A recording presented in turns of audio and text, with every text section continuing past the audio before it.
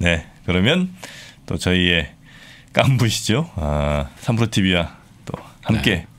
해주시는 우리 오건영 부부장님 신한은행에서 오셨습니다. 어서 오십시오. 네, 어서 오세요. 네, 네. 반갑습니다. 네. 자, 우리 오건영 부부장님과 함께 요즘 상황이 뭐 사실 언제 좋았던 상황은 별로 없었던 것 같긴 한데 음. 그래도 또 요즘 굉장히 좀 심각한 상황 같아요. 그러니까 뭔가 이렇게 쭉 올라가다가 꺾여서 이 하방으로 쭉 가는 그 꼭지점이 있는 건가? 그 기저 인플레이션이 있다는 거 아니에요? 네. 네. 네? 그래서 일단 네. 어떤 거부터 가야 될지 일단은 헝다 살짝 한번 짚고 갈까요? 그렇죠. 헝다가 네. 이제 거리 정리됐어요. 네. 이제 어, 제 저도 이제 뭐 제가 시황을 뭐 보는 사람은 아니지만 그냥 네. 어제 이제 제가 밤에 잠들기 전까지 해서 좀그 좀 중점적으로 좀 봤던 거는 첫 번째 이제 헝다 얘기는 뒤에 조금만 좀 해드리도록 하고요. 그리고 이제 두 번째 좀 봤던 거는 최근의 상황 중에서 이걸 좀 음. 보실 필요가 있어요. 작년에 그 3월 달에 우리가 이제 그 코로나 사태 때문에 시장이 무너졌었지 않습니까? 네. 음. 시장이 막 무너져 내릴 때, 뭐 이렇게 이제 melting down이라고 하죠. 막 녹아 내릴 때 그걸 끌어올렸던 게 뭐냐면은 페드에서 어마어마한 유동성을 공급해줬기 음. 때문입니다. 네. 그러면 페드의 유동성 때문에 주가가 뛰는데요. 그럼 그걸 네. 뭘로 알 수 있느냐? 네. 간단하게 보시면 주가만 봐서는 알 수가 없어요. 이게 음. 기업 실적으로 뛰는 건지 유동성으로 네. 뛰는 건지. 음. 근데 채권이랑 같이 보면 느낌이 올 때가 있거든요. 음. 그럼 유동성을 잔뜩 공급해줘서 올라갈 때는 음. 주가가 뛰면서요. 채권 가격도 뜁니다. 채권 가격이 뛴다는 건 채권 금리가 내려가는 거죠. 네, 돈이 그렇죠. 쏟아져 나오니까.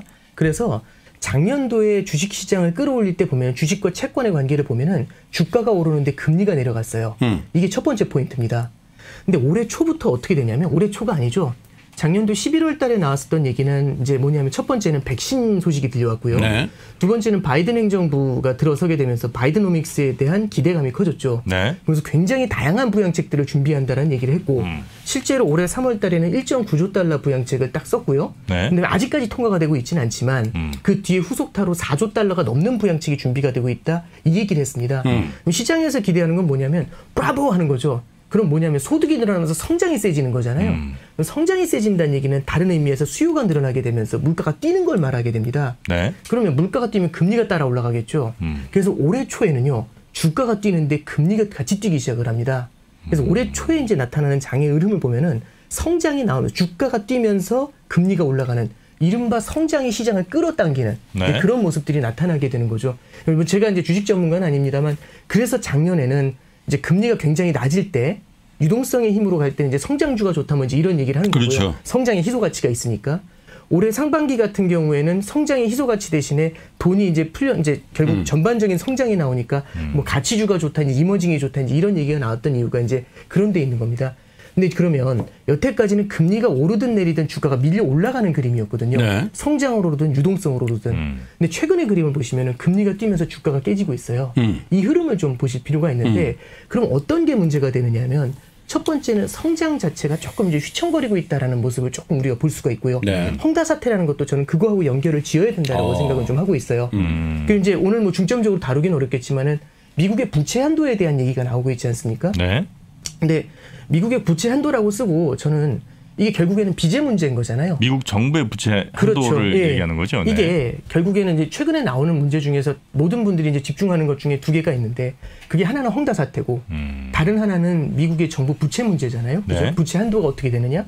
저는 두 개가 결국에는 주체가 될 뿐이지 결국에 핵심은 빚에 있다라고 봐요. 음. 네, 네. 이제 앞서 이제 제가 저는 음. 안 보는 저는 영화 그런 걸 잘 보질 않아서 그렇지만 이제 오징어 게임 네. 말씀에서도 이제 부채에 대한 말씀을 좀 해주셨잖아요. 네. 저는 결국에는 지금 현재 굉장히 과도한 부채에 대해서 그 임계점에 음. 대해서 시장이 굉장히 고민을 많이 하고 있다 음. 이런 생각이 드는 거고요. 그러면 미국 정부가 부채 한도에 대한 고민을 굉장히 많이 하게 되면서 음. 그거하고 같이 딸려가서 지금 얘기가 나오는 게 뭐냐면 아까 전에 말씀드렸던 4.5조 달러의 후속 부양책 있죠. 음. 이게 어떻게 될 건지에 대한 불확실성이 되게 커지고 있어요. 아. 시장에서는 4.5조 달러 줄 줄 알고 김치국을 한 삽을 마셨는데 음. 지금 보니까 이게 원래는 7월달 독립기념일 그때 주변 해가지고는 된다라고 했다가 아직까지 밀려 나오고 있는 거거든요. 음. 그리고 이제 뉴스 보신 분들 아시겠지만 아마 뒤에서 이제 시황 쪽에서 말씀해 주시겠지만은 이 표결이 한 달이 또 늦어지게 됩니다. 음. 그래서 이제 저는 좀 보고 있는 거는 첫 번째는 성장 사이드에서의 문제가 조금 있다라는 게 있고 음. 두 번째는 이 성장 사이드의 문제는 부채라는 것 때문에 연결이 되는 부분이 그렇죠. 좀 있는 것 음. 같다라는 음. 게 이제 첫 번째 포인트가 되는 네. 거고 두 번째는 물가에 대한 말씀을 뒤에서 상세히 드리겠지만 음. 이 물가 때문에 성장이 주저앉으면 보통 금리가 내려가야 되거든요. 네. 성장이 주저앉으면 보통 금리가 내려가야 되는데 음. 물가가 오를 것이라는 생각, 물가가 오를 것이라는 데 대해서 여태까지는 계속 외면을 했었던 페드가 여기에 반응할 수밖에 없지 않나라는 생각. 음. 이두 가지가 이제 금리를 밀어 올리게 되면 그렇죠. 네. 성장이 둔화되면서 금리가 올라가는 새로운 아, 환경이 조성이 될 수 있거든요. 아, 그거 제일 싫어하는 거 아니에요? 예, 그래서 이제 그런 것들이 지금 현재는 시장에 좀 부담을 주는 게 1번이다. 음. 그래서 이제 주가와 금리의 관계를 통해 가지고 최근에 어떤 시장의 흐름은 성장과 금리의 관계를 통해서 한번 좀 말씀을 드린 거고 네. 두 번째는 이제 주가와 유가의 관계를 한번 잠깐 좀 말씀을 드리면 네, 우리 오건영 부부장님 마이크 약간만 더 키워드리겠습니다. 아, 예. 네. 아, 예. 아, 말씀 조금 아니, 저희가 키울 예, 겁니다. 네. 예, 예, 아, 예, 제가 하는 게 아니네요. 아, 예. 아, 이제 당황했습니다. 네. 예, 이제 두 번째 말씀드리면 이제 그 주가와 유가의 관계를 좀 말씀드리면 작년도에 이제 주가 무너져 내릴 때 유가 같이 빠졌잖아요.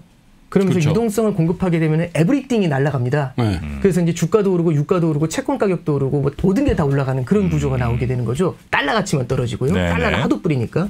그러면 유가가 이제 뛰어 올라가고 주가가 같은 동행의 흐름을 보여주게 되는데 이게 인플레이션이라는 부담이 커지게 되잖아요. 거기서는 이제 어떤 흐름이 나타나면 일정 임계점을 넘게 되면은 유가가 더 올라가는 게 인플레이션이라는 임계철선을 건드린다는 두려움이 생기게 되면 음. 네. 그때부터는 주가가 반응을 하게 됩니다. 그래서 어제도 보면은 유가가 뛰고 자원부국 러시아 같은 주식은 오르는데 다른 시장들이 흔들리는 모습들을 음. 좀 보여주고 있죠. 음. 그래서 결국에 지금 현재 보고 있는 거는 유가와 주가의 관계를 보는데 작년이라든지 이런 때만 해도 유가가 올라가는 게 디플레이션의 늪에서 끌어올리는 시장을 끌어올리기 때문에 굉장히 긍정적이다라는 생각들을 많이 했거든요. 네. 근데 지금은 유가가 올라가는 게 굉장히 부담스러운 레벨까지 온 거 아니냐라는 음, 음. 얘기가 있는 거고 그런 면에서 이제 어제 오펙 플러스 회의가 있었어요. 아, 그래요? 네, 오펙 플러스 회의가 있었는데 이 오펙 국가들 중동 국가들이랑 러시아를 비롯한 네. non- 그 비오펙 산유국들이 다 모여가지고 네. 증산을 결정하는 거거든요. 시장에서는 조금 더 많이 좀 증산을 해줬으면 했는데 생각보다 그렇게 많이 해주질 않았습니다. 음. 이게 산유국들이 자기들의 이익 관계도 어느 정도 걸려 있거든요. 그러겠죠. 유가가 탄탄하게 유지가 돼줘야 되니까. 그래서 감산을 많이 안 하니까 생각보다 증산을. 증산을 많이 안 하니까 유가가 탄탄하게 버텨주는 모습이 나타났던 거죠.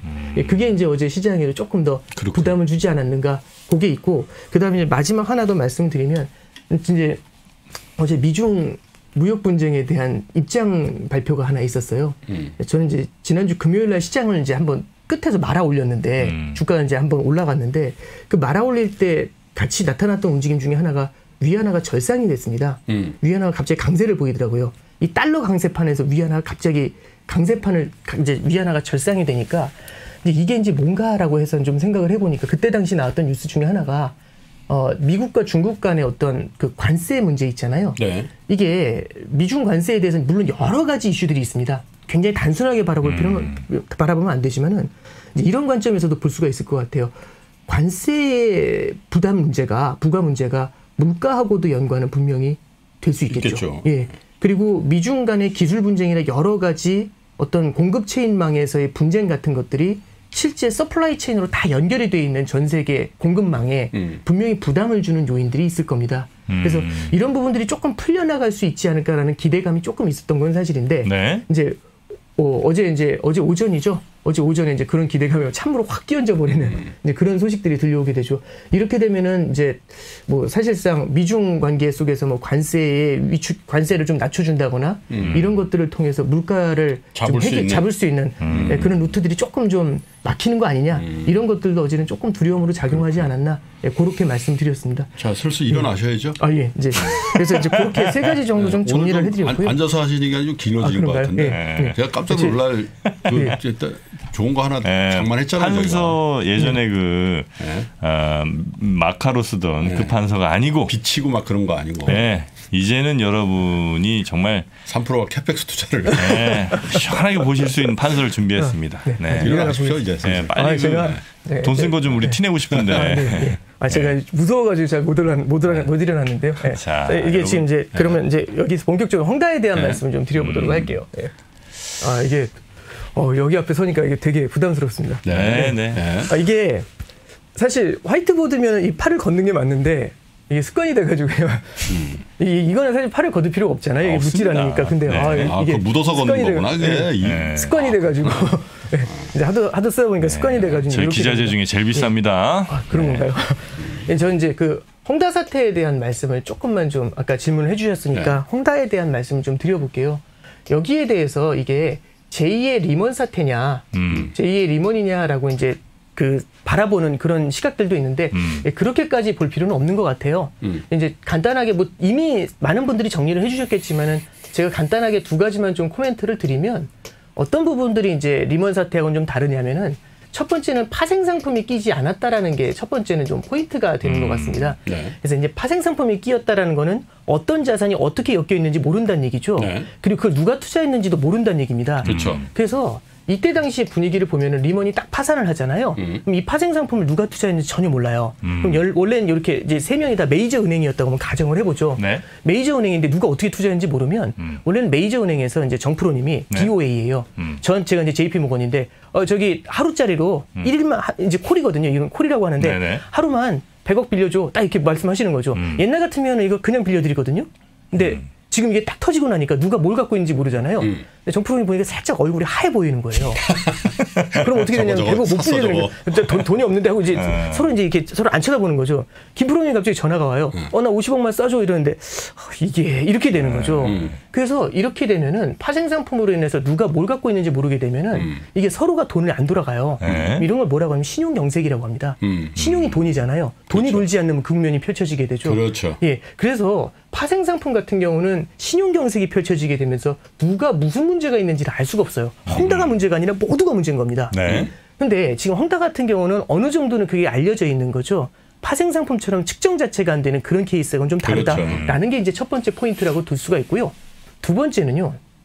이게 어느 정도는 known event가 돼버렸다라는 게 이제 핵심입니다. 그때 당시에는 이 대마불사라고 해가지고 이제 08년도 8월 달에 패니메이하고 프레디 맥을 살려줘요. 음. 그러면서 이제 08년도에 만약에 9월 달에는 모기지 대부 기관이죠. 그렇죠. 예. 만약에 만약에 문제가 되더라도 9월 달에는 이제 리먼을 살릴 거다 이제 이런 얘기가 있었는데 음. 아 미안해 하고 이제 죽은 거죠. 음. 근데 아무런 대책 없이 죽은 거죠. 네. 그게 이제 케이스인데 이번 헝다 사태 같은 경우는 지금 보면 대부분의 분들이 이제 헝다 사태가 뭔지를 아실 거고 그다음에 헝다는 사실 6개월 그거보다 더 오래됐던 것 같아요. 아, 1년 넘었죠. 예, 1년 정도 계속해서 이제 주가가 하락하면서 이거 문제 있는 거 아니냐 계속해서 얘기가 나왔고 중국 당국에서도 몇 차례 이제 여기에 대한 언급이 있었어요. 그러면 요번에 과거하고 달라진 건 이런 겁니다. 과거에는 헝다라는 기업 자체가 문제가 되면은 음. 중국 당국에서 여기에다가 자금을 지원을 해가지고 보통 살려줬었어요. 네. 이게 포인트인데 지금은 그렇게 하질 않고요. 주변에다가 유동성을 공급해 주는 거죠. 헝다의 주변에다가 다른 기관들한테 음흠. 다른 금융기관들한테 여태까지는 계속 유동성 공급을 안 해주다가 유동성 공급을 늘려줍니다. 그런 다음에 어떤 소식들이 조금씩 흘러나오고 있냐면 음. 오피셜한 멘트는 아니지만은 계속해서 흘러나오는 건 뭐냐면 음. 주변에 이제 금융기관들이라든지 국영기업들한테 만약에 헝다가 문제가 생겼을 때 헝다가 갖고 있는 부동산들을 이렇게 인수를 할 수 있는 그런 프로젝트가 준비가 되고 있다 이런 소식이 흘러나오게 됩니다. 음. 그러면 이거는 리먼하고는 조금 달라요. 파산도 그냥 파산하면 안 되고요. 이런 걸 뭐라고 하냐면 질서 있는 질서 파산이라고 파산. 하죠. 예. 이게 참 질서 있는 파산이라는 말 자체가 역설적으로 들리는데 이제 이런 겁니다. 이제 정프로님한테 제가 이제 여기 이제 채권자시고 제가 이제 네. 채무자예요. 근데 이제 이런 거죠. 이제 어제 이제 오늘이 만기인데 어제까지 제가 뭐라고 했냐면 아 걱정하지 마시라고 내일 다 드릴 거라고 내일 아침에 8시 딱 이렇게 말씀드린 거죠. 네. 그래서 아 걱정은 안- 안 하시고 이제 기다리고 계셨는데 불안하지만 걱정은 하죠. 다음날 아침 8시 될 테니까 제가 뭐라고 말씀드려요? 아, 죄송해요. 이렇게 얘기하는 거죠. 죄송해? 뻥 뜨는 거죠. 그렇죠. 펑 찌잖아요. 근데 펑 찌는 게 문제가 아니라 네. 두 분도 다른 쪽에서 자금을 조달해서 빌려준 거죠. 음. 아. 금융 시스템이니까. 그럼 이쪽에서도 자금을 어떻게 조달해가지고 또빚 갚아야 될 거지 않습니까? 네. 이러면 연쇄도산으로 이어져요. 음. 근데 이제 문제는 뭐- 이런 거죠. 일주일 전부터 제가 얘기하는 거죠. 제가 진짜 힘든데, 진짜 힘든데, 제가 이번에 그날까지 20% 드리고, 그 다음에 딱 2주 정도 지나면 또 들어올 돈이 있어서 20%더 드리고, 음. 나머지 60%는 제가 부동산을 갖고 있는데 이렇게 팔고 저렇게 팔고 저렇게 팔고 저렇게 팔아가지고 메워드릴게요. 음. 이렇게 이제 얘기를 하는 거죠. 물론 둘 다 안 좋죠. 음. 둘다 파산이니까 안 좋죠. 음. 둘다 망하는 건데, 근데 후자는 뭔가 상대편이 준비할 수 있는 시간을 주잖아요. 그렇죠, 그렇죠. 그죠? 예측이 가능한 거죠. 음. 그리고 주변에다 유동성을 이렇게 공급해주면서 이미 약을 쳐놨잖아요. 음. 그리고 인수할 수 있도록 준비를 해놓은 거잖아요. 음. 이렇게 되면 상대적으로 충격을 덜 하게 만들 수가 있죠. 이게 저는 그게 기억이 나요. 16년도 6월 23일인데요. 이게 지금 이제 영국 경제에도 굉장히 큰 충격을 주고 있지만 이게 이제 아, 브렉시트라는 게 브렉시트. 있었습니다. 음흠. 아 이게 6월 첫째 주부터요. 이 브렉시트 되면 큰일 난다라는 얘기가 좀 있었고 이게 박빙이었어요. 그 예고 자체가. 음. 그래서 이 브렉시트 당시 어떻게 되냐면 6월 23일 날이 투표일이었거든요. 근데 영국 주변에서 다 이게 전 세계 중앙은행들이 다 연대해가지고 이 주변에다 뭘 만들어 놓냐면 이제 페드도 그렇고 ECB도 그렇고 전부 다 swap line을 만들어 놔요. 이게 이제 어려운 게 아니고요. swap line이 line. 뭐냐면 예, 네. 이런 거예요.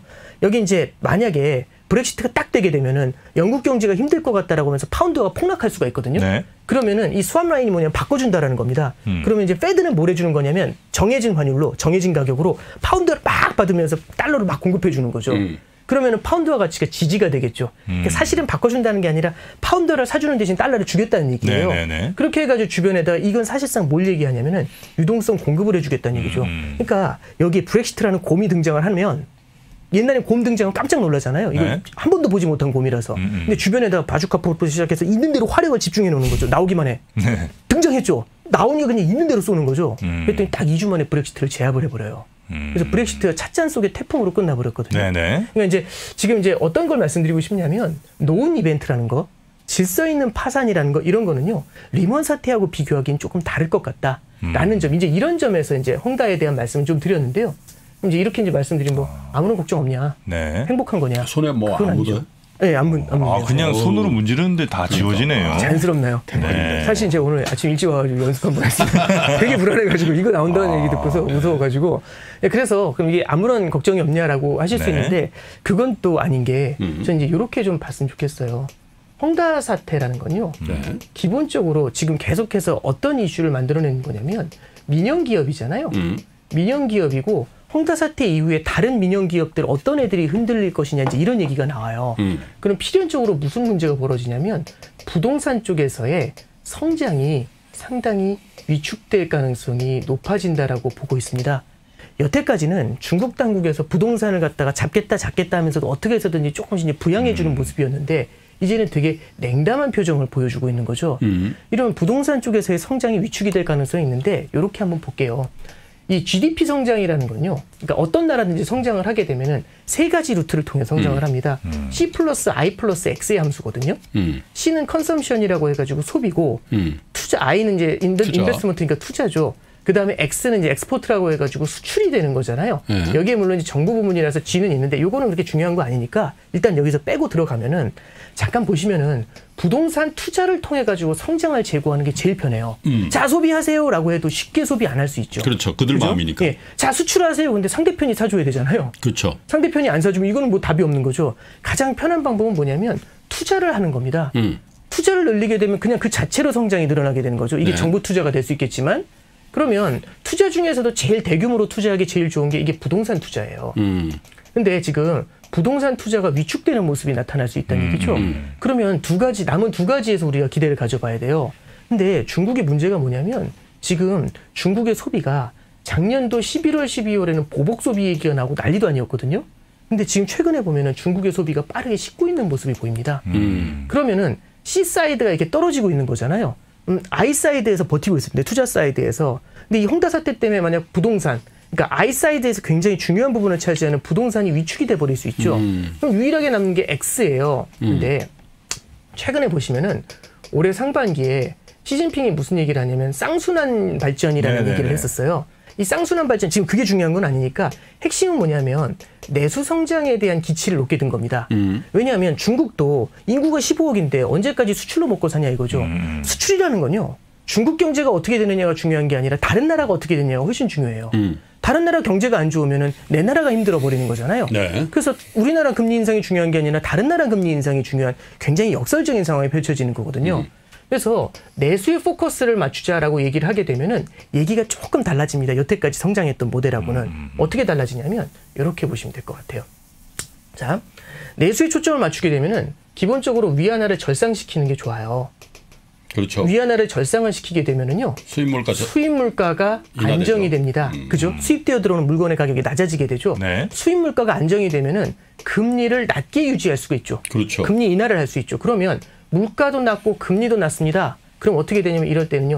소비가, 소비가. 늘어나는 핵심적인 음. 역할을 하게 되죠. 이게 사실 금리라는 건요. 돈의 가격이죠. 그죠? 네. 돈의 가격이 싸지게 되면 사람들은 수요가 늘어나잖아요. 돈에 대한 수요. 음. 돈에 대한 수요를 우리는 부채라고 합니다. 대출이라고 하죠. 음. 돈을 더 빌려 가지고 소비를 하게 되는 거죠. 음. 그래서 위안화가 절상이 되면서 물가도 싸진 데다가 돈을 빌려 가지고 소비를 하니까 음. 그럼 소비가 폭발을 할 수 있다라고 얘기를 하는 겁니다. 네. 그래서 어 그러면은 금융 쪽이 금융 사이드가 좀 발달해야 되지 않겠어?라고 하니까 여기다 뭐라고 하냐? 오케이 금융 개방 이런 얘기까지 했던 겁니다. 그럼 해외에서 유동성이 들어올 테니까요. 음. 네. 이게 이제 중국이 바라보고 있는 쌍순환의 가장 큰 핵심적인 포인트가 돼요. 네. 근데 어 그럼 위안화 절상해야겠네. 근데 위안화 절상을 하게 되면 누가 우는 거냐면 수출이 응 하고 울어요.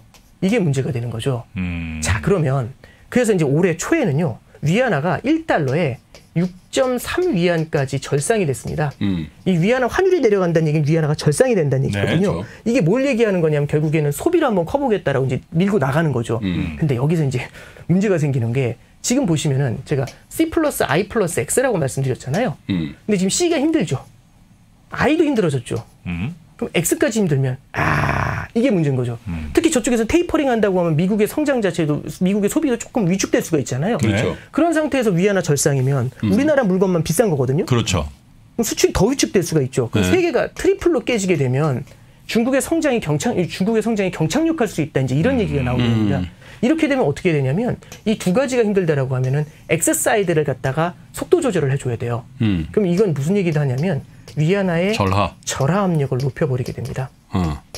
이게 음. 제가 이제 지금 현재 구도에서 이 부채가 많았을 때 생기는 문제에 대해서만 하나 말씀을 드리면 어느 시장이든지 두 사람이 있어요. 네. 어떤 사람이 있냐면 사는 사람하고요.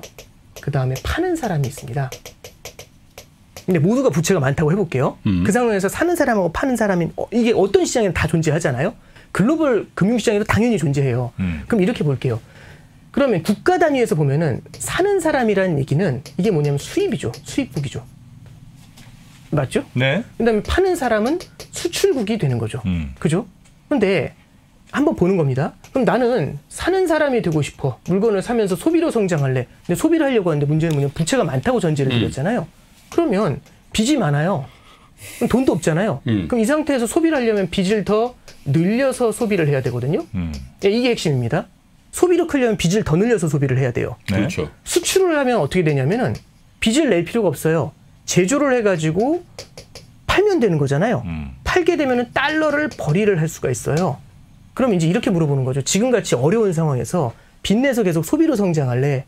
아니면 물건 팔아서 달러 벌리면서 수출로 성장할래라고 물어보면 어느 쪽이 더 좋을까요? 당연히 수출해야겠죠. 당연하죠. 네. 모두가 이걸 선택할 겁니다. 모두가 에브리 네. 에브리원이. 저도 당연히 이걸 선택하고. 네. 그럼 이 세상에 어떤 일이 벌어지게 되냐면 아무도 안 사요. 아. 모두가 팔려고 하죠. 음. 그러면 팔려고 경쟁을 할 거지 않습니까? 사는 사람은 별로 없는데. 음. 그러면 사는 사람이 낙타처럼 바늘구멍, 낙타가 바늘구멍 들어가는 것처럼 굉장히 작은 바늘구멍에다 다 팔아야 돼요. 네, 네. 어떻게 하면 팔 수 있을까요? 내가 다른 사람보다 잘 팔려면. 환율을 올려야죠. 그렇죠. 이게 환율 전쟁이죠. 자국 통화를 그게 예전에 예전에 나왔던 거죠. 근린국 그 그렇습니다. 저 네. 인접국 네. 공피파 네, 공피파 정책. 정체죠. 예. 아씨 그거 나오면 골치 아프다. 예, 여기 여기에 나오는 겁니다. 그러면 대표적인 케이스가 뭐냐면은 지금 전 세계에서 소비를 주도할 수 있는 나라가 과연 그럼 어디가 있느냐? 음. 일단 중국이 아 나 좀 힘들 것 같은데 이런 얘기거든요. 음. 헝다 사태하고 같이 연, 연관되면은 음. 그럼 이제 누가 사실상의 핵심이 되는 거냐면은 지금은 소비를 할 수 있는 나라가 전 세계에서는 미국 하나죠.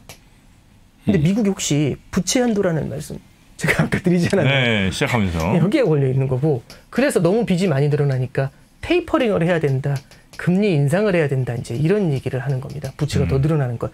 그러면 글로벌 전체의 소비 성장이라는 것 자체가 위축될 우려가 좀 존재하는 거겠죠. 그렇죠. 네, 그래서 저는 이제 최근에 우리나라 환율이 오른 이유도 이제 이런 헝다 사태하고도 좀 연관되어서 위안화 환율이 뛰거나 원화 환율이 뛴 것들도 이런 거하고 좀 연관돼서 좀 해석을 해야 될 것 같고요. 네. 헝다 사태라고 쓰고 저는 이제 중국의 성장 둔화다. 이제 그렇게 좀 보고요.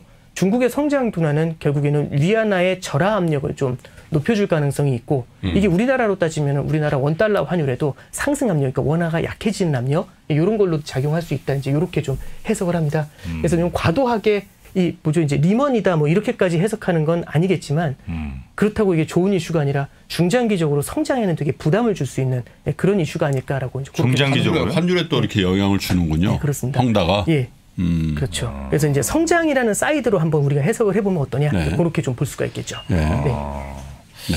그러면 이게 뭐 단기간에 뭐 헝다 음. 어떻게 잘 해결하고 우리 시장 다시 한번 또 달려봐야지 이런 그림은 음. 아니네 그죠? 그렇죠. 적어도 오건영 부부장님 판단에는 아, 예. 근데 이제 말씀 중에 네. 말씀 중에 무슨 얘기가 있었냐면 그게 이제 소비를 책임지고 있는 두 축이 네. 중국도 이제 그런 문제가 있고 미국은 이제 어 이거 너무 과한데 네. 이렇게 톤 다운 시키는 어떤 테이퍼링 금리 인상이 예고돼 있기 때문에 네. 음. 요게 패가 잘못 이제 엮여 돌아가면 한동안 힘들어질 수도 있는 그 모멘텀에 와 있는데 그 상황에서 홍다가 터진 거고 네. 미국에서도 이제 그런 것들을 외면하면서 우린 관계 없어 하고 마이웨이를 가버리면 네. 골치 아픈 일이 벌어진다 이런 거죠. 네, 그러니까 이제 음. 지- 그, 그런 것 같아요. 뭐냐면 국제금융시장이라는 건 정말 다양한 요인에 의해서 움직이지 네. 않습니까? 그러면 이런 거죠. 잽을 날렸습니다. 제가 질문 이런 질문을 던져요. 음. 잽 날리면 쟤 누굴까? 음. 모르죠. 왜냐하면 그 친구가 어떤 컨디션인지에 따라 그렇죠. 다르죠. 1라운드에 쌩쌩합니다. 날려도 끄떡도 안 하죠. 네. 근데 13라운드라서 서 있지도 못하는 애예요. 네. 날리면 눕겠죠. 앞으로 누워버릴걸요, 그러면? 네. 그러니까 결국에는 헝다 사태라는 것도 지금의 환경이 어떻게 되느냐 하고 같이 맞물려서 보실 필요가 있고요. 음. 3월인가 4월인가 제가 이제 기억이 잘 안 나는데 아케고스라고 헤지펀드가 아, 예, 파산했던. 적이 있어요. 예, 네. 빌황. 아 네네. 잘못 만약에 성장이 탄탄하게 나오고 있잖아요. 그런 거 하나 터지면 응? 하고 그냥 지나가요. 응? 하고 그때도 이게 엄청난 헤지펀드 파산 사태다라고 얘기했었는데 음. 초유의 사태다라고 했는데 그냥 슥 지나가 버리잖아요. 물론 규모 차이가 엄청나게 크긴 하겠지만 음. 어, 저 이제 바라보는 게 뭐냐면은 성장에 조금이라도 균열이 생기고 있었을 때 네. 나타날 수 있는 문제점들 이런 걸 좀 볼 수가 있고 그런 면에서 이제 미국 사이드도 좀 우리가 같이 좀 볼 필요가 있고 일어나세요. 네. 그래서 제가 좀 이제 그 FMC하고 네. 좀 너무 많이 지나서 그런데 예. 오늘은 어지간하면 앉지 마세요. 오늘 예, 좀 알겠습니다. 칠판이 좀 많이 나와야 예, 됩니다. 칠판 많이 많이 찍을 수 있게 좀 준비할게요. 예, 그래서 저는 이제 제가 9월 FOMC가 이게 네. 저 다른 분들 나오셔서 많이 해주셨죠 이거 말씀은 그죠? 아, 그래도- 다른- 다르니까. 예, 예, 또 한번 제가 또 제가 보는 시각에서 이제 말씀 을 네. 좀 드리면 네. 지난번에 제가 이제 그 8월달 말에 나와서 네. 잭슨홀 바라보면서 이제 그 말씀을 드렸던 게 기억이 나요.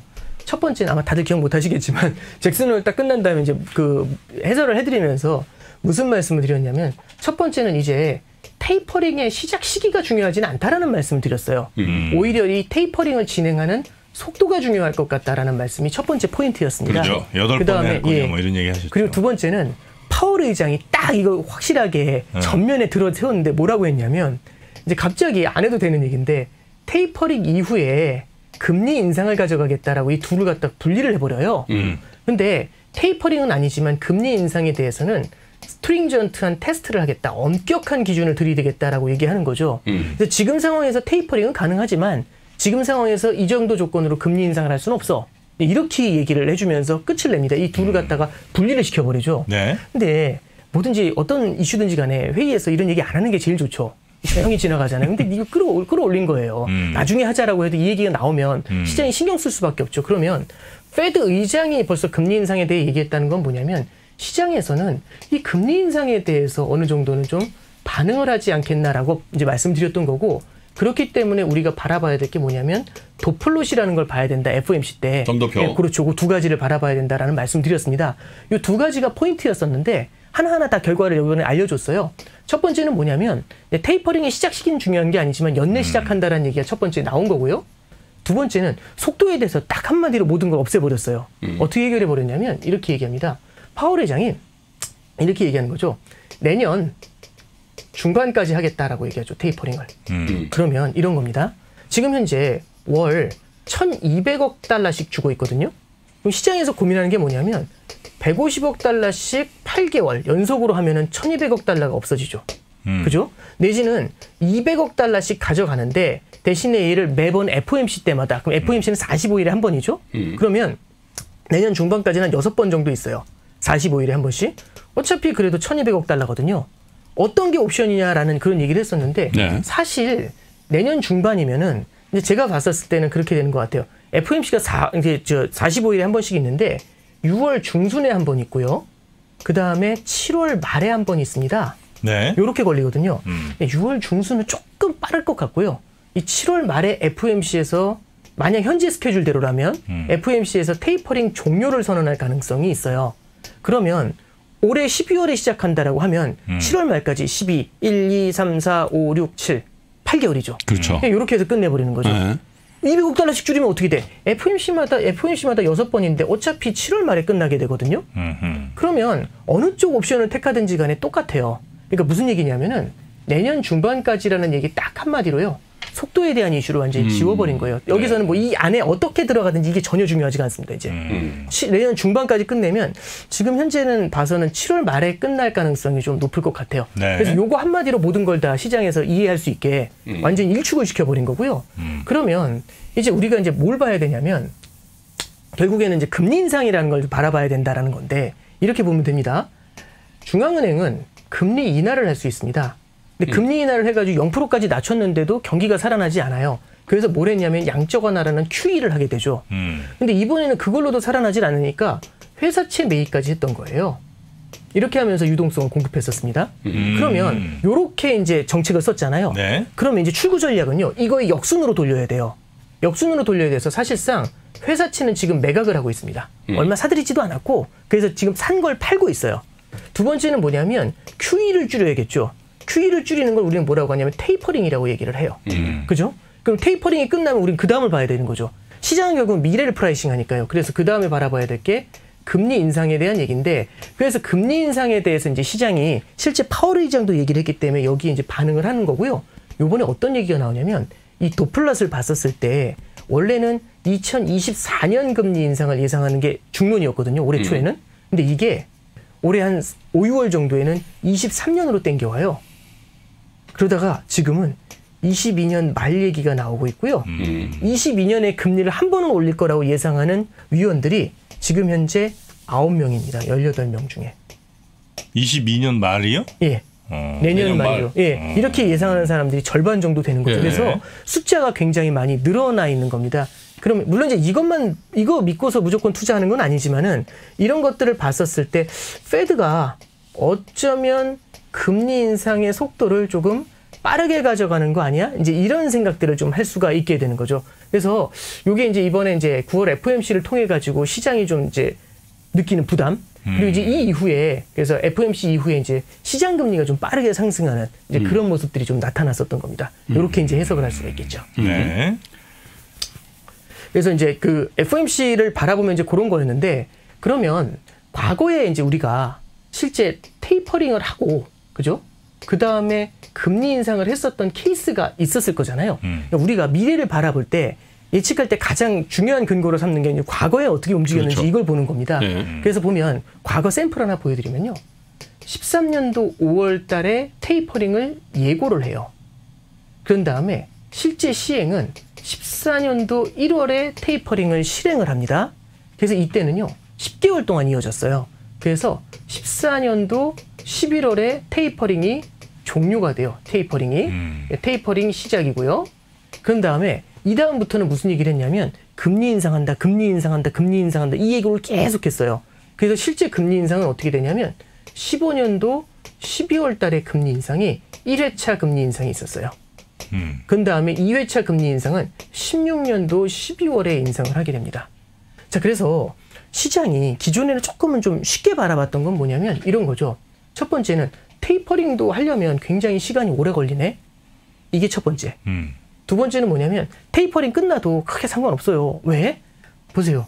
금리 인상이 14년도 11월에 테이퍼링이 종료가 됐는데 실제 금리 인상이 나온 거는 15년도 12월에야 금리를 인상하게 된 거죠. 네.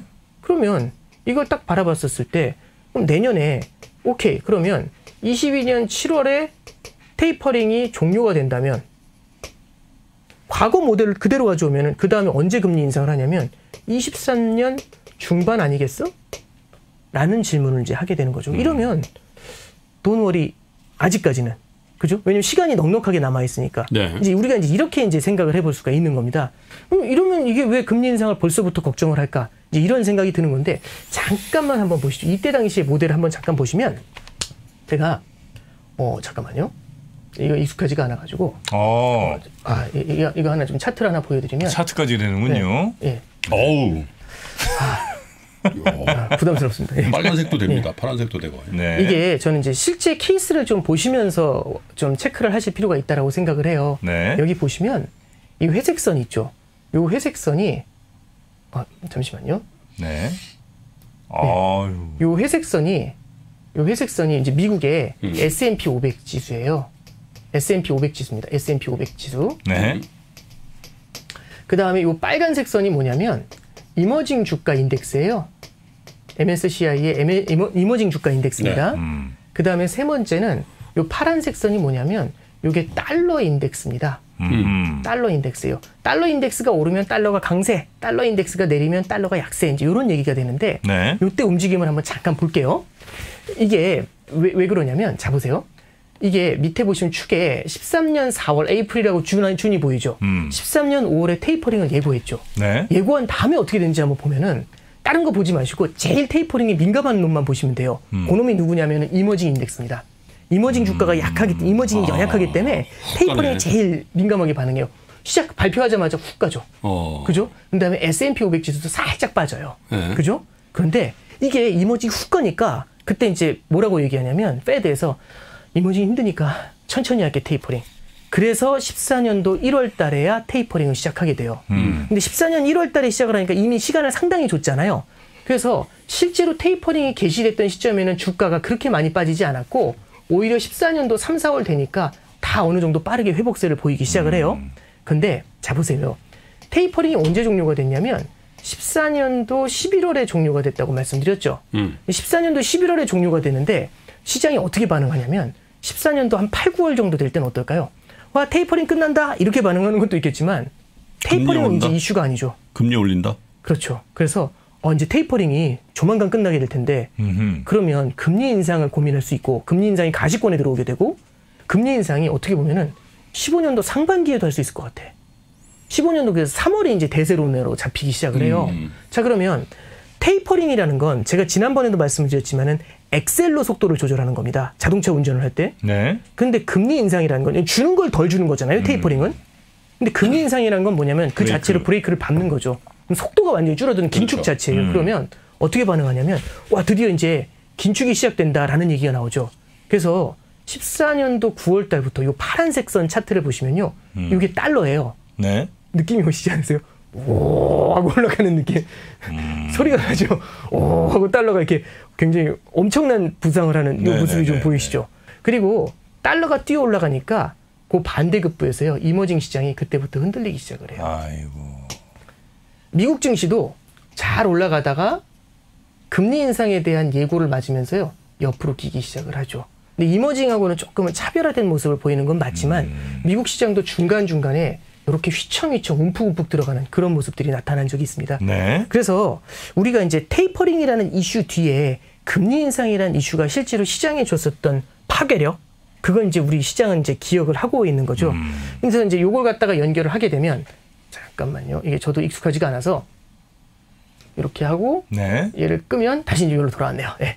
그래서 네. 그래서 아 이게 칠판에 아직 익숙하지가 않아가지고 네. 좀 한데요. 굉장히 잘하네. 예. 그래서 이제 요렇게 이제 좀 말씀드렸어요. 네. 그래서 지금까지 말씀드린 것만 정리를 하면은 네. 부장님 때문에 산 거예요. 게, 칠판. 아, 그런가요? 아, 부장님 전용입니다. 아, 예. 네.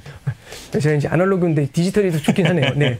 그래서 이제 금리 인상이 되게 이제 중요한 임팩트를 준다라는 말씀을 좀 첫 번째는 드렸고요. 네. 그래서 테이퍼링 그 너머를 시장은 고민한다라는 말씀을 드렸습니다. 음. 근데 과거 사례를 보니까 과거 사례를 보니까 뭐냐면은 사실 테이퍼링이 종료된 이후에도 금리 인상은 사실상 1년 정도 시간을 줬었는데 왜 이렇게 성급하게 반응을 할까? 요게 음. 이제 여기까지 정리가 된 음. 내용이에요. 그럼 그 이유에 대해서 한번 말씀을 좀 드려볼게요. 이게 금리 인상이 그때 당시 늦어졌을 때는요, 이유가 다 있었던 거예요. 어떤 이유가 있었냐면, 음. 이런 겁니다. 자, 보시면, 미국에서 금리 인상을 갖다가 예고를 합니다. 금리가 인상된다는 얘기는 달러를 갖고 있을 때 그만큼 더 이자를 준다는 얘기죠. 네. 환율이라는 건 성장과 금리를 반영합니다. 음. 미국의 성장이 다른 나라보다 탄탄한 데다가 미국이 금리까지 올려준대요. 그럼 어떻게 되냐면 달러에 대한 수요가 늘어나게 되겠죠. 음. 그래서 이렇게 되니까 달러가 강세를 나타내게 되죠. 달러가 강세를 나타내게 되면은 어, 이런 일이 벌어지게 됩니다. 첫 번째는요. 이머징 국가들이 달러로 돈을 빌렸거든요. 네. 달러로 돈을 빌렸는데 달러로 돈을 빌려가지고 이 달러를 팔고 이머징 통화를 사서 투자를 하고 있어요. 음. 근데 달러가 강세로 가잖아요. 갚을 때는 달러로 갚아야 되는데 저는 달러를 팔고 이머징 통화를 사서 투자하고 있거든요. 음. 근데 그런 달러가 강세로 간 겁니다. 제가 팔아놨던. 음. 나중에 사서 갚아야 되는데 달러가 세니까 이머징 국가 입장에서는 그 자체로 빚 부담이 엄청나게 늘어나게 되는 거죠. 네. 가뜩이나 성장이 연약한 나라가 빚 부담까지 늘어나니 얼마나 문제가 되겠어요. 두 번째는 뭐냐면 달러가 강세로 가면서 그 이면에서 어떤 일이 벌어지게 되냐면 달러 강세는 미국 입장에서는요 수입 물가의 하락을 가져오게 됩니다. 그래서 이머징이 흔들리는 거 1번, 그 다음에 수입 물가가 하락을 하게 되면서 실제로 물가 상승세가 둔화가 되는 게 2번. 이 두 가지 때문에 미국에서도 견딜 수가 없었던 거예요. 그래서 페드에서 어떻게 하냐면, 아, 오케이, 지연, 연기, 이렇게 얘기하는 거죠. 금리 인상 연기. 그랬더니 다시 달러가 음. 약세로 돌면서 다시 시장이 회복이 됩니다. 그러니까 분위기가 좋아지잖아요. 음. 그럼 어떻게 되는 다시 금리 인상을 예고해야 되죠. 그럼 달러가 강세로 가죠. 네. 이머징이 빚부담을 느끼고 수입 물가가 낮아지죠. 그 다음에 지연, 달러 약세 회복 이렇게 계속 도는 겁니다. 이걸 뭐라고 하냐면 달러 루프라고 했었어요. 회전하는 거죠. 계속 이 안에서 회복 회복이 안 되는 거예요. 그러면 이렇기 때문에 이 지연이 많이 일어났었던 건데 그러면 여기서 지금 제가 이걸 써드린 이유가 뭐냐면 왜 이게 지연이 됐었는가를 바라보고 있는 거죠. 네. 지연이 된 이유는요. 요것 때문입니다. 중간에 보면은. 첫 번째는 시장이 흔들렸던 거. 그죠? 두 번째는요. 물가가 둔화가 되었던 거. 요 두 가지가 포인트예요.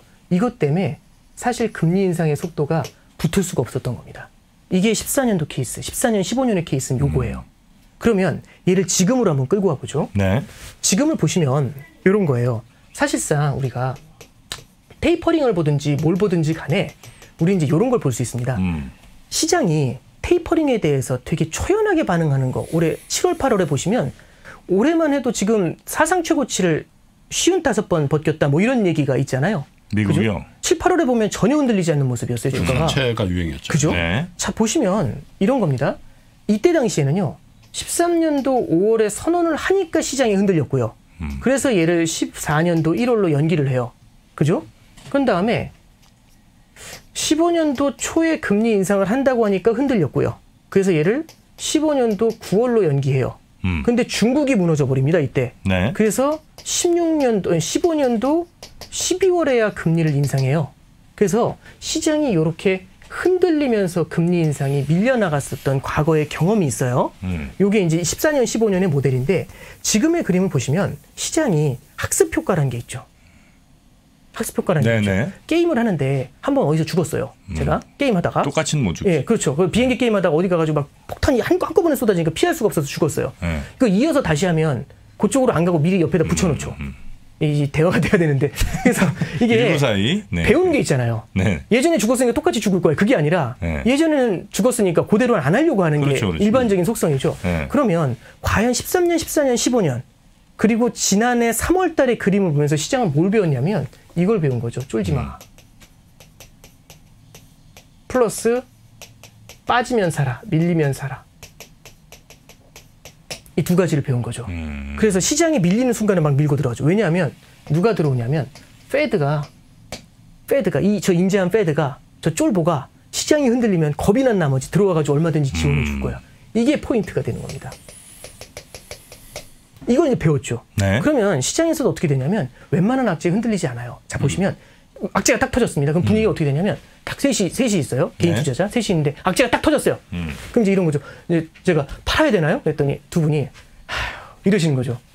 아직도 안 봤어? 지난 15 10년간 못 봤어? 15년 몰라 15년. 그렇죠. 이제 그런 네. 얘기를 딱 하시는 거죠. 지금 그러면서 줍줍이야. 네, 그렇죠. 정 프로님께서 그런 거죠. 지금 팔아놓지만 나중에 다시 사 이런 건데 네. 갑자기 이제 김 프로님께서 얘기하시는 거죠. 아니 언제 다시 사야 되는지 그 타이밍 맞추는 것보단 나 같으면 안 팔고 기다릴래. 음. 그럼 셋이 다 안 팔죠. 음. 그럼 어떤 일이 벌어질까요? 시장이 버텨요.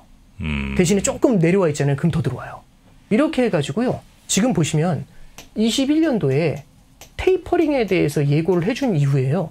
제대로 된 조정다운 조정이 오질 않아요. 이번에, 그러면- 이번에 오는 거 아니에요? 근데 그렇죠. 이제 그 결국에는 시장이 탄탄하게 버텨준다라는 게 과거하고 다른 겁니다. 음. 이게 첫 번째 포인트예요. 시장이 탄탄하게 버텨주면 쫄지 않아도 되죠. 페드가. 네. 근데 이게 참 독특한 것 같아요. 뭐냐면 동상이몽이라고 보는데 시장 참여자들하고 페드의 모습을 한번 바라보면 시장 참여자들은 이 생각을 하고 있는 거죠. 뭐냐면 페드가 음. 도와줄 거니까 버티자.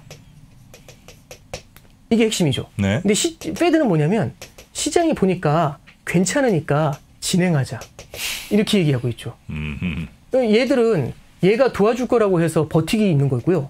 Fed는 시장이 에, Fed는 시장이 괜찮으니까 어, 괜찮은가 봐 한 다음에 tapering의 속도를 가져가죠. 그래서 음. 실제도 보시면 tapering을 조금 서둘러서 할 거라고 하는 것보다는 내년 1월 달에 시작한다라는 게 사실은 조금 대세였잖아요. 네.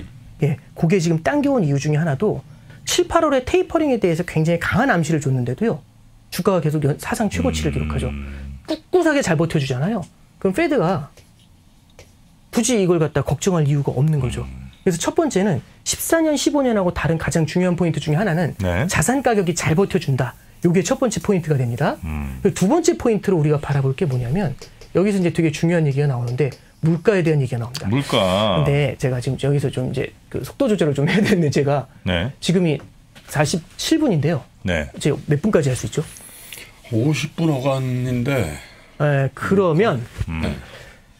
제가 간단하게만 말씀 드리고 네. 얼른 끝내도록 할게요. 제가 알겠습니다. 이게 지금 시간이 애매하고 이게 이게. 이게 사실은 가면은 길게 가야 돼서 네. 이게 2014년 15년에는 물가가 어느, 어느 정도였냐면 2% 수준에서 왔다 갔다 왔다 갔다 했어요. 음. 그래서 시장이 흔들리거나 달러가 강세를 찾아오잖아요. 네. 그럼 2% 물가가 왔다 갔다 왔다 갔다 했는데 이게 목표 물가거든요. 근데 달러 강세가 찾아오면 얘를 톡 찍어 누르게 되죠. 음. 그럼 물가가 밑으로 내려가요. 네. 그럼 아 한 다음에 금리 인상 연기 이렇게 갔다고요. 음. 이게 그때 당시 모습이에요. 근데 지금 물가가 뭐냐면 지난주에 발표된 게 3.6%로 발표가 됐어요. 음. 2% 타겟에서 3.6%면 굉장히 높죠. 그죠? 네. 그러면 여기서는요 물가가 굉장히 높기 때문에 과거하고는 좀 달라요. 그래서 지금은 시제 그 페드도 디플레이션과 인플레이션이 있으면 음. 여태까지는 계속해서 디플레이션만을 바라봤거든요. 네. 근데 최근에 9월, 10월 들어와 가지고 요쪽을 바라보기 시작을 합니다. 음. 그래서 파월 의장도요 살짝 말을 바꿨어요. 그래서 요거를 하나 좀 말씀드리면 이렇게 볼게요. 그냥 요, 요게 이제 포인트가 됩니다. 성장과 물가가 있잖아요. 음. 여태까지는 성장이 주저앉으면 물가도 수요가 줄어드니까 물가도 같이 주저앉았다고요. 음. 성장이 세게 나오면 물가도 같이 오른다고요. 그러면 페드 입장에서는 아무런 걱정이 없어요. 왜냐하면 성장이 주저앉고 물가가 주저앉으면 음. 성장을 갖다 부양하기 위해서 돈 풀기를 하잖아요. 네. 돈 풀기를 할 때 가장 큰 문제점은 뭐냐면 화폐 가치가 하락을 하면서 음. 물가가 폭등을 해버리는 거예요. 음. 이 심리가 정착을 해버리게 되면은 뭔가 할 때마다 화폐 가치가 정말 빠르게 떨어지면서 물가가 너무 빠르게 뛰어요. 네. 하이퍼 인플레이션이 와요. 이게 제일 무서운 거거든요. 음. 이러면 아무것도 못해요. 그런데 두 개가 같이 주저앉잖아요. 아무런 문제가 없이 막 질러댔다고요. 음. 아무런 문제 없이. 그런데 지금 분위기는 뭐냐면 이렇게 되는 겁니다. 성장은 약화가 되고 있는데 물가는 세게 나오는 거예요. 자 그러면 성장을 바라보면 금리를 낮춰야죠. 음. 물가를 바라보면 금리를 올려야죠. 네. 뭘 선택하시겠습니까? 그러면 여태까지 페드의 선택은 간단했어요. 뭐냐면 이런 겁니다. 파월이 딱 등장해서 이렇게 얘기해요. 여기 딱 동그라미 치면서 이 물가는 일시적 이렇게 얘기를 해요. 걱정할 거 없다. 예. 정프로님이 네. 되게 꼼꼼하셔가지고 음. 대출을 해주고 나면 다 이렇게 장부에 기록을 하시는 거예요. 네. 근데 어떤 케이스가 있냐면 제가 갑자기 등장해요. 음. 어우 정프로 정프로 저 잠깐만 10만 원만 좀 꿔보세요. 꿔주세요. 금방 갚을게요. 이렇게 얘기하는 거죠. 네. 뭐 저기 뭐 그렇게 뭐 이상한 사람은 아닌 것 같으니까 10만 얼굴도 원 받고 뭐. 10만 원 뭐 네. 10만 원 빌려주셨어요. 그 이제 포인트는 뭐냐면 금방이죠. 음. 금방 갚을 거야. 이렇게 얘기를 하셔가지고 제가 빌렸어요. 네. 빌려가지고 내려가죠. 그래서 장부에 안 쓰셨어요. 왜냐하면 금방 갚을 거니까. 음. 얘는 대출이 아니잖아요, 사실은. 음. 금방 갚을 건데. 근데 문제는 뭐냐면 여기서 중요한 포인트가 나옵니다. 금방이라는 게 네. 최대 며칠을 의미할까요? generally 한 accepted 되는 어떤 사회적 통념. 3일? 3일? 예, 저, 저 김프로님은 저희는 뭐 한 일주일 일주일, 일주일 정도. 열흘은 줘야지. 열흘, 근데 열흘 있다가 수도 갚아도 조금. 그렇잖아요. 아 금방이라고 했는데 뭐야? 이런 느낌은 받죠. 그래도 네. 뭐 어쨌든 열흘. 네. 근데 알고 보니까 저희 그 금방이라는 게 2년이었어요. 2년이 무슨 금방이야. 단기채입니다. 이런 얘기 하는 거예요. 아. 그래서 이게 이제 뭐냐면 제가 금방 갚는다고 했는데 네. 이게 2년을 가요. 네. 그럼 얘는 금방 갚는 게 아니죠. 그럼 채무로 제, 적어 놓으셔야 되잖아요. 그죠? 음. 그리고 이제 저는 이제 손절 대상이 되는 거죠. 네. 이제 말씀드리고 싶은 게 뭐냐면 파월이 뭐라고 하냐면 이게 일시적이라고 했어요. 네.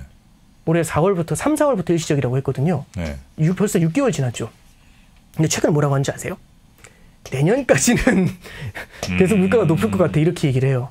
그러면 일시적이라는 단어에 뭐라는 네. 어떤 단어가 붙냐면 꽤 긴 일시적 인플레이션이란 말이 나와요. 꽤 긴 일시적 인플레이션. 얘는 인플레이션이잖아요. 에. 그죠. 그러면 시장이 이 수사가 이제 안 먹히는 겁니다. 네. 그럼 페드가 어 이거 신경 쓰나? 그러면 다른 것보다도 물가까지 신경을 쓰잖아요. 음흠. 마구잡이로 돈 풀기가 쉽지 않아요. 음. 시장은 뭐 어떻게 생각하냐면 만약에 물가가 주, 주- 이게 뭐냐면 이게 시장이 좀 흔들리고 하면 페드가 돈을 또 풀 거야라고 생각을 했는데 네. 물가가 계속 밀려 올라오면 음. 이게 이제 상당히 부담스러운 요인이 되는 거겠죠. 네. 그래서 제가 지금 시간이 모자라 가지고 제가 요거는 다음번에 한번 제가 음. 나와서. AS를 한번 해드리겠습니다. 네, 정리를 좀 하죠 네. 뭐. 네. 네. 그래서 전반적인 톤은 중국의 홍다 문제도 뭐빈 예전에 문제고. 예전에 그저 글로벌 금융위기처럼 파생 상품이나 이런 거하고 연결돼 있지는 않아서 그렇게까지 볼 필요는 없지만 에, 중국의 투자를 위축시켜서 중국의 에, 경제 성장률을 에. 저하시키는 어떤 그런 요인으로 볼 수도 있고 그 다음에 이제 에, 페드의 어떤 그 정책의 변화가 네.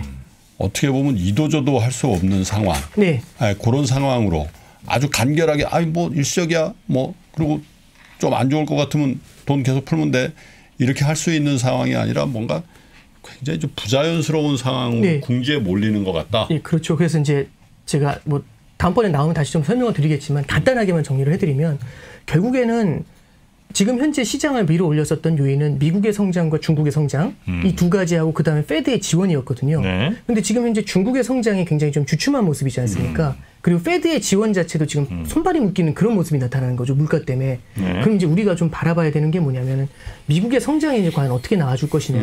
근데 조금 이제 희망적인 거는 만약 추가 부양책이 빠르게 나와준다거나 아니면은 그렇죠 이제 저게 지금 지금 이슈긴 한데 그래서 이제 우리가 그 만약에 이제 바라봐야 되는 기대 언덕이 있다라면은 미국의 성장 쪽을 조금 바라볼 필요가 있는데 그게 추가 부양책에 대한 이슈도 될 수가 있고요. 그 다음에 이제 델타 변이가 완화가 됐었을 때는 제2의 보복 소비라는 것들도 우리가 한번 바라볼 수는 있겠죠. 그래서 그런 것들에 대해서 우리가 한번 이제 성장을 좀 바라봐야 될 때다. 그래서 이제 여태까지는 유동성 사이드 페드를 바라봤다면 네. 우리가 성장에 대해서 좀 주목해서 바라볼 때가 되지 않았나 네, 그렇게 말씀드리고 봅니다. 다음 주에 저희가 스케줄 한번 더 잡을게요. 왜냐하면 이게 아. 중요한 그 그림과 뭐 기사들을 훨씬 더 많이 갖고 오셨는데 하다 보니까 예, 한 시간을 하셨는데도 예, 이렇게 부족하네요. 또 실패했습니다. 달러는 좀 세게 갑니까? 이제? 아니, 달러 강세 압력이 일단은 작용을 하게 되겠죠. 네. 다음번에 왔을 때 이 물가하고 연관돼 가지고 달러도 같이 좀 설명을 좀 네, 다음 드리겠습니다. 다음 주에 한번 저희 네. 만들어 볼게요. 네. 다음 번에는요. 에, 빨간 펜, 파란 펜도 기능이 있어요. 꼭좀 써주십시오. 알겠습니다. 제일 좀더 아쉬웠습니다. 연습하고. 네. 네. 아, 이게 저도 처음에 긴장해가지고. 그 기능 추가가 500입니다. 아, 예, 알겠습니다. 농담입니다. 네. 우리 함께 해 주신 신한은행의 오건영 부부장님 대단히 고맙습니다. 감사합니다. 만나러 가겠습니다. 공부 한번 제대로 해보실까요? 딱 한 달 업종 기초교육과 매매의 기술을 한 번에 배울 수 있는 올인원 패키지 업종 분석으로 기초를 다지고 매매의 기술로 투자의 날개를 달아보세요. 자세한 내용은 페이지 2 공지사항을 확인하세요.